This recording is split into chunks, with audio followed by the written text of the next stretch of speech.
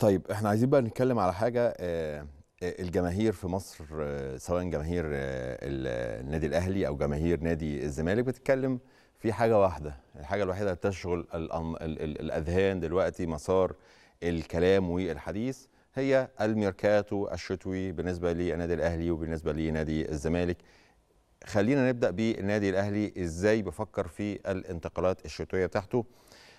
لو بنتكلم من منظور جماهير النادي الأهلي حي يعني تقريبا بيقولوا إن هو إن النادي الأهلي كان الميركاتو الصيفي موسم الانتقالات الصيف- الصي- الصيفية لم يكن يعني بي على ال- ال- الشكل المأمول على المستوى المأمول بالنسبة لجماهير النادي الأهلي. إحنا عارفين إن النادي الأهلي استخدم ثلاث لعيبة دعم بيهم صفوفه في موسم الانتقالات الصيفية الأداء بتاعهم يعني مثلا زي ما تابعنا التصريح بتاع كولر المدير الفني للنادي الأهلي إن هو مش مبسوط من ولا آه، مهاجم عنده في السكواد بتاع النادي الأهلي.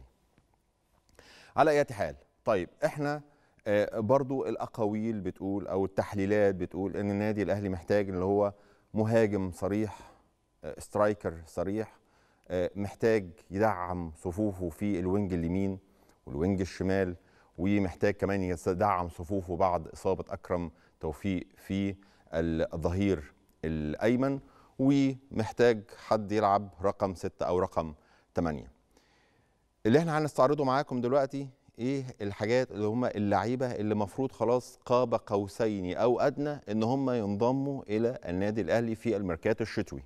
في لعيبة كتيرة في لسه قائمة كتيرة بس إحنا هنستعرض معاكم أبرز اللعيبة اللي هم زي ما قلنا كده قاب قوسين أو أدنى إن هم يلتحقوا بالنادي الأهلي. نبدأهم بالتونسي محمد الضاوي كريستو لاعب النجم الساحلي. هو أول صفقات في النادي الأهلي بعد ما وقع فعلا للاعب للقلعة الحمراء. متوقع إن هو يصل إلى مصر خلال ساعات وهيتم الإعلان عن هذه الصفقة بشكل رسمي تقريبا تقريبا يوم الثلاث النادي الأهلي هيعلن عن هذه الصفقة. ال- ال- الضاوي محمد الضاوي الملقب بكريستو لعيب تحت السن لعيب صغير لعيب مهاري بيلعب التركيز بتاعه في ال wing winger يمين.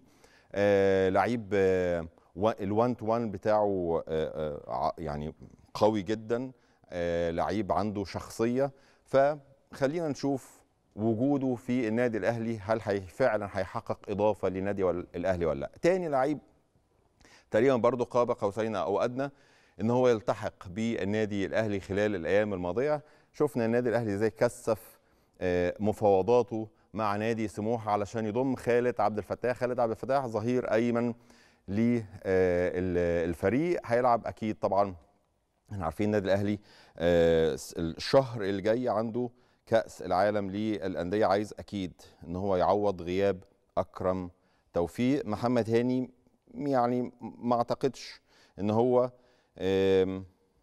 أو خلينا نقول إن هو عايزين نجد لاعب آخر يلعب بجنب محمد هاني علشان يدعم الصفوف.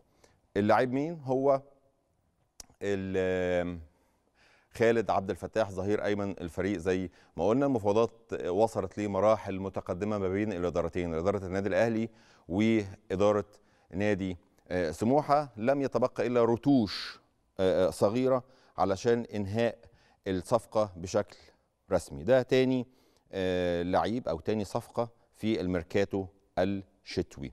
تالت حاجة تالت لعيب تالت صفقة.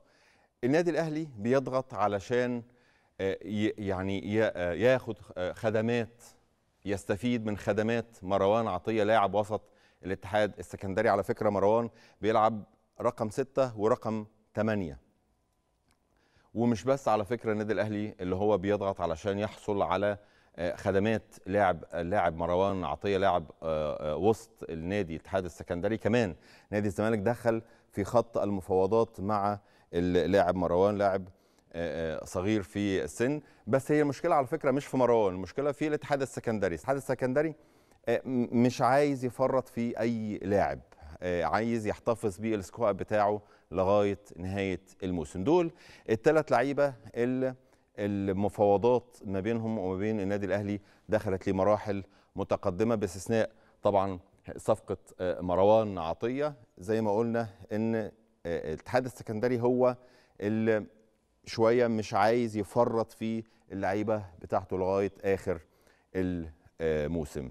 ده بالنسبة للعيبة اللي المفروض آه، يعني آه، المفاوضات بتاعتهم أو تم الإعلان بشكل رسمي عن إن في مفاوضات سواء خلصت المفاوضات انتهت المفاوضات تم التوقيع أو لسه في نيجوشيشن لسه في مفاوضات مفاوضات رايحة الجاية. طيب بالنسبة للعيبة اللي هي متوقع إن هي آه، آه، تمشي أو تغادر ال squad. قبل ما نتكلم في ده نتكلم عن إن في كمان في مهاجم برازيلي يقال إن هو في كلام مع مهاجم برازيلي ومهاجم من أفريقيا هيتم التعاقد مع احدهما هم بيلعبوا في مركز ال striker الصريح المهاجم الصريح بس مارسيل كو- كولر زي ما إحنا عارفين مدير الفني للنادي الأهلي. زي ما إحنا عارفين ان هو ما بيحبش يتفرج على فيديوهات. هو لسه عايز ياخد وقت علشان يحسم الموقف بتاعه من ضم أحد اللعيبة دول. زي ما قلنا واحد من البرازيل والتاني من أفريقيا. طيب ده بالنسبة للميركاتو الشتوي الناس اللي المفروض هتنتقل للنادي الأهلي. أبرز المغادرون عن النادي الأهلي أعتقد الثلاثي حسام حسن زياد طارق محمد محمود بالإضافة طبعا لحمزة علاء اللاعب الشاب هم الأقرب للخروج خلال فترة الإعارة أو الانتقالات الشتوية. مارسيل كول كولر يعني تقريبا ما فيش اقتناع بنسبة كبيرة من استمرارهم. طيب هل هم فقط الثلاث لعيبة دول بالإضافة ل آه، حارس المرمى اللي هيغادروا السكواد بتاع نادي الأهلي؟ لأ في أعتقد تقريبا في لاعبين كمان اتنين لعيبة كمان تقريبا هيتم ال في تفكير داخل النادي الأهلي إن هو يتم الاستغناء عنهم سواء بقى بالإعارة أو بالبيع لسه ده هنعرفه لاحقا. طيب ده بالنسبة لموسم الانتقالات الشتوية وده اللي كان مثار يعني اللي كان ترند في ما بين طبعا أوساط جماهير النادي الأهلي.